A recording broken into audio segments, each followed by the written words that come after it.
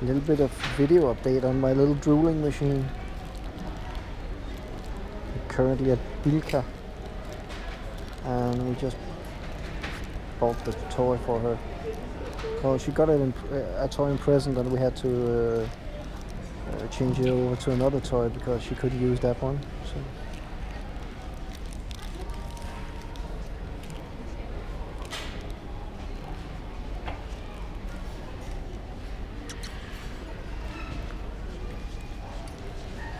Ha,